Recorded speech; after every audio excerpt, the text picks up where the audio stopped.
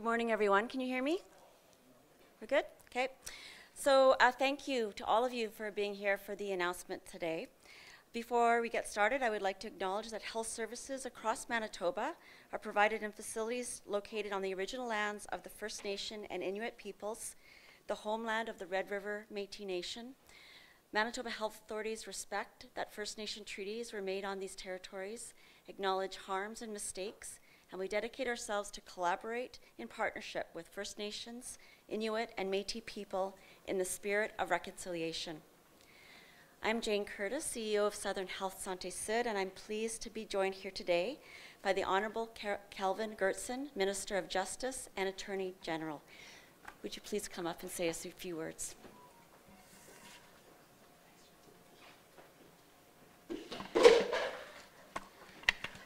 Thanks so much. Uh, good morning, everybody. What a pleasure it is to be here at the Bethesda Regional Healthcare Center here in my hometown of Steinbach on this uh, wonderful spring morning. Joined by our uh, Mayor, uh, Earl Funk, our Member of Parliament, Ted Falk, many other uh, dignitaries, and of course, the great staff of, um, of Bethesda Hospital. This is uh, an exciting and another long awaited day when it comes to healthcare in our region.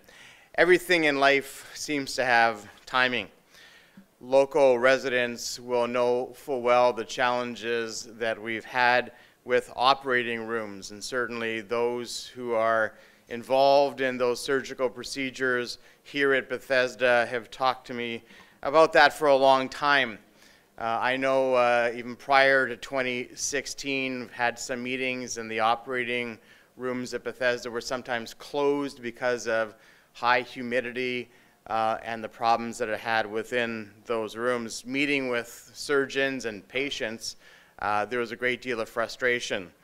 Uh, one of the uh, things that, one of the last things I think I did when I was Minister of Health was we approved a new HVAC system here for part of Bethesda, and that helped to address the issue in the operating rooms in terms of humidity and allowed them to continue to be opened uh, during the summer and not have as much interruption as they were dealing with before but the timing wasn't at that point quite right for new operating rooms. In the fall of uh, 2021, I was, uh, I think, just outside. We were making the announcement outside at that uh, time for about a $32 million expansion here at uh, Bethesda. We see some of the uh, work already happening on uh, the other side of the building. Uh, this expansion and the activity that's happening all around is important for pharmacy upgrades, for cancer care, of course, for the long-awaited dialysis support so that people don't have to drive to Winnipeg, uh, and the new 23 acute care beds facilities. Very, very important, but there was still a piece that was missing. And today I'm very honored to announce on behalf of the government of Manitoba and Premier Heather Stefanson uh, that we are adding an additional $30 million to this project in partnership with the Bethesda Foundation for three brand new operating theaters to be built right here at Bethesda Hospital.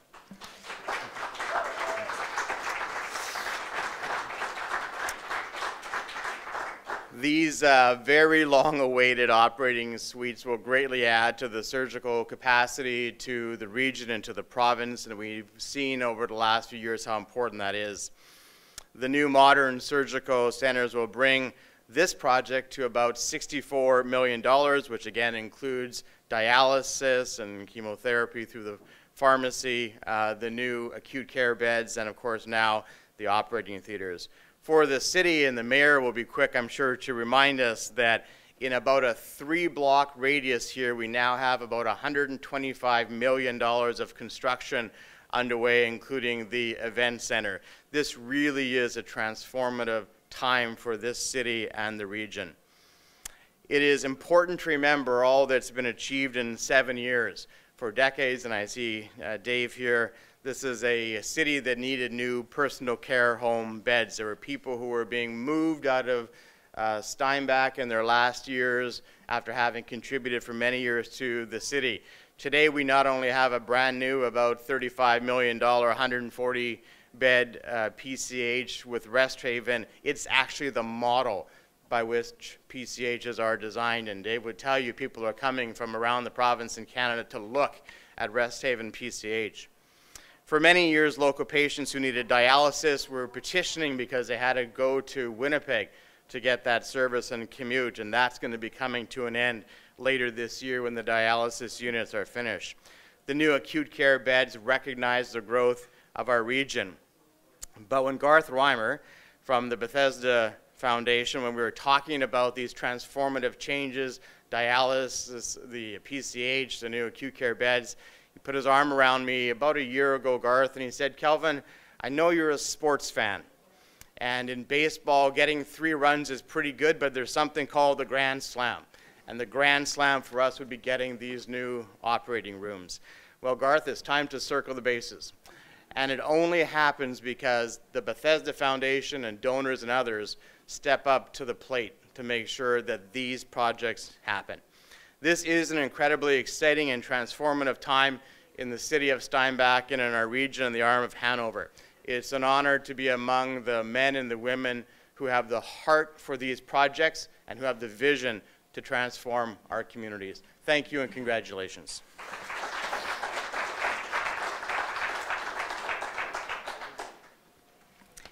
Thank you, Minister Goertzen. It is now a pleasure for me to welcome Mayor, Mayor Earl Funk uh, up to say a few words.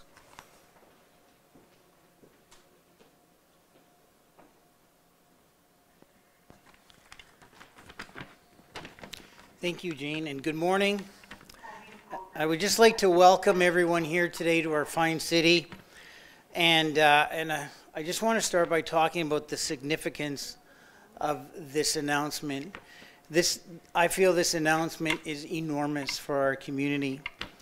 The, the Bethesda found, or the Bethesda Hospital has served uh, the city and our region for many decades, and now we'll, we'll definitely with the the upgrades that are happening on the on the other parking lot, and now with these this new announcement, it will be able to uh, continue to serve for many decades to come. I want to take time now to thank the the healthcare professionals, the many doctors, nurses, and support staff in every way that have that have kept this hospital running and, and make, made sure that great health care and quality health care could be given to the residents and our surrounding areas. We're at, at the city, we are completely thrilled uh, to hear of the funding announcement. I just want to take some time to thank the province for recognizing uh, the Bethesda Hospital as a regional facility and, and making steps to make sure that it will be able to be a regional facility, to make sure that it can take care of the residents in our area and in the southeast area for many, many years to come. I want to I want to um, recognize that the province and thank them for seeing that as we are growing, we are one of the fastest growing areas in the province and also the southeast would be one of the fastest regions in the province, and that you recognize the that the province recognizes that as we grow, we also need more services, and part of those services are healthcare, and and uh, and we are just excited to to see this happen. I want to say a special thank you at this point to uh, to Minister Kelvin Goertzen. Kelvin, you have been uh, such a great help as, as I've been mayor, I've been able to call you, text you, um, and we've been able to talk about projects, and we've been able to discuss what our city needs and what our region needs. And you've always had a, a, a listening ear, and as soon as we are done, you've gone. Um, you've gone to the city, you've gone back to the city, back to your, your legislature, and you've worked on it. Uh, just before you came up, you were joking with me. It looks like we need a new list, and it's okay. I got one no problem. We got a list, we'll go over it, maybe, well, maybe we can get together on Sunday. Okay. I, I want to say a special thank you also to the Bethesda Foundation. Without a foundation like that in our community, uh, that is constantly looking at healthcare projects and, and uh, trying to better healthcare projects in our community and our surrounding areas. And I, and I think that we are blessed to have them, and we are, we are are thankful and, and glad to be partnering with you in this project as well. What does this mean for Steinbach and our region? Well, I do believe this is going to help with doctor retention. We know there's a there's a there's a, a problem retaining doctors all over our country, and I think this is going to be this will be this will be the projects that'll help us retain doctors, at least attract attract healthcare professionals and all other healthcare workers. It'll, it'll help our residents and our surrounding municipalities receive quality health care and continue to receive quality health care. They'll be able to come to Bethesda, they'll be able to be close to home and get the health care that, th- that they've needed that for so many years we've had to, we've had to send them to other communities. I think it'll strengthen our community and it'll strengthen our intermunicipal relationships as well. At the city, we are looking forward to seeing this facility in operation. Thank you very much.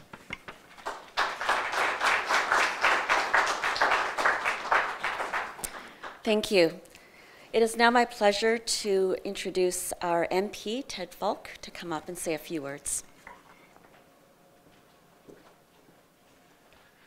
Well, good morning, and uh, I want to start by bringing greetings from my leader, the Honorable Pierre Poilievre. And I want to also start by congratulating uh, Jane Curtis, CEO of Southern Health. Uh, this is a truly uh, an incredible announcement for Southern Health, for the community of Steinbach, but for the entire region. And Minister Goertzen, thank you for the hard work that you do for our community and uh, for, for the commitment you've made to the Bethesda Hospital in making sure that this facility is upgraded in a timely manner and that we're getting the services here in the community that the residents needs and the residents have answered for. But really, this is a community celebration here today. And it's a community celebration because uh, Garth Reimer, uh, board chair of uh, the Bethesda Foundation, has been instrumental in bringing many of these healthcare uh, initiatives and improvements to the area. And the Bethesda Foundation is a compilation of community people making donations to the foundation. The foundation is prudently managing those funds and provides the seed money for projects like this. And uh, you know how governments operate. They like to see community engagement, community involvement, community funding as part of the project. And that's what the Bethesda Foundation has to has done and they've done it now for the expansion of our surgical unit. I think it's a great announcement. It's going to save people uh, a lot of traveling back and forth to Winnipeg as well as it's going to be cost effective for our community and it's going to uh, improve waiting times uh, and make this just even a, a more exciting facility uh, for our community. So thank you again, uh, uh, Minister Goertzen, for what you've done. Thank you, Garth Reimer, and your team at the Bethesda Foundation, and uh, congratulations to the community.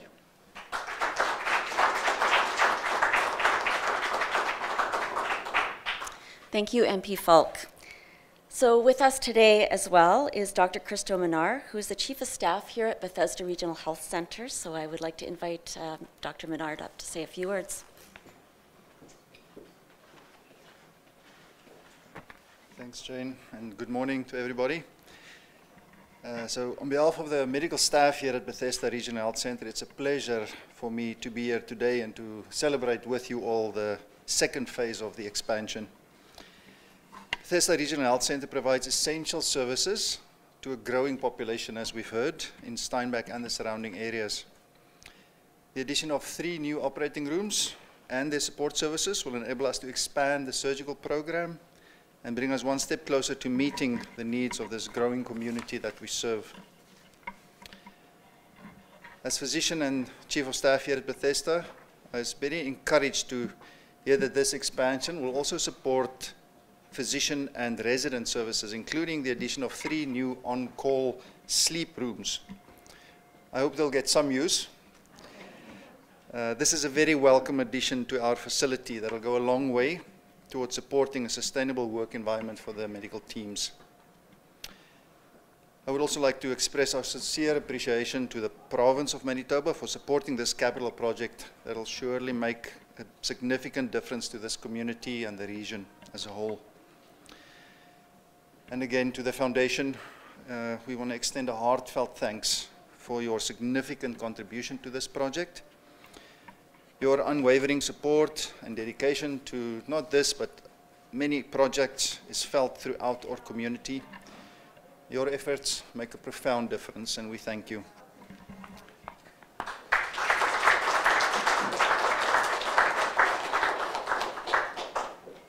Thank you, Dr. Minnaar.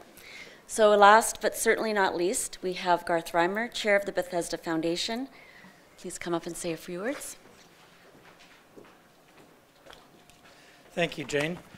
I think my name has been mentioned once or twice, but really the uh, talented board of directors of the Bethesda Foundation is, should be substituted for my name.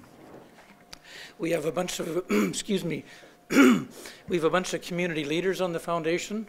Um, they're dynamic, uh, ambitious uh, individuals that want to make healthcare better in the community. So I'd like to substitute their name for mine. Um, we're very pleased to support this project. Um, we have pledged $8 million over a period of time. Uh, that's a lot of money. It's the biggest in our history. Um, we, um, we just finished making uh, the last payment on our previously largest donation ever the, for the Rest Haven project, uh, a contribution totaling a little over $5 million, which I think, as Minister Goertzen indicated, is a rousing success and a model in the province. The surgery upgrade, along with many related enhancements, will replace the existing two suites which are going on 60 years of age. I think they were built when this hospital was constructed in 1964.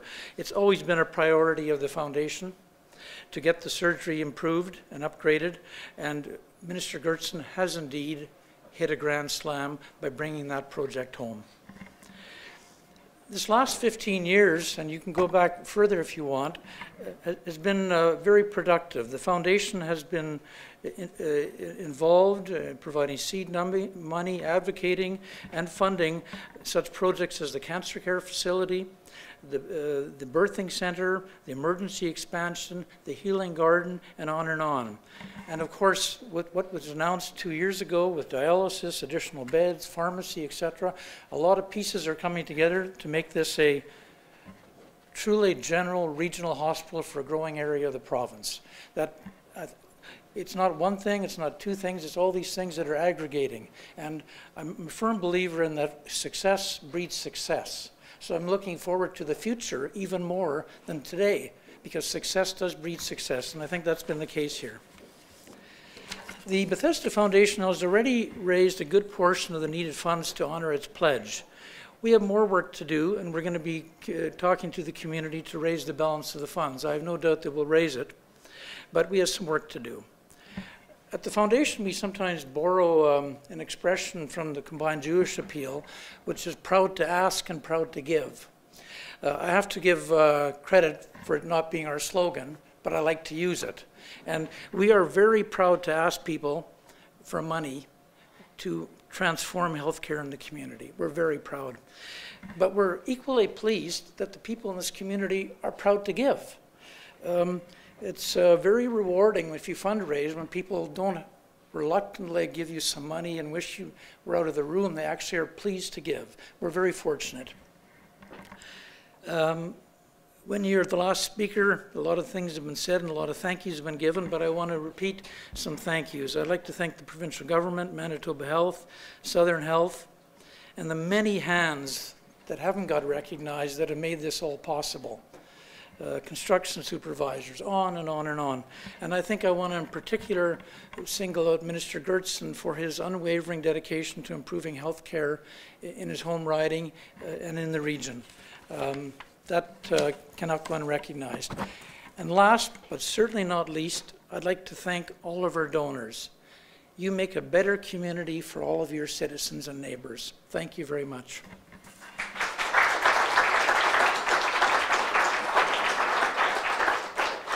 Thank you, Garth. And along with Dr. Minnaar, I would also like to thank you and the foundation and the community for the significant contributions that you make. Um, this, you know, we, we can't do it alone. It takes a strong community, and And that certainly is the case here, so thank you for that. So this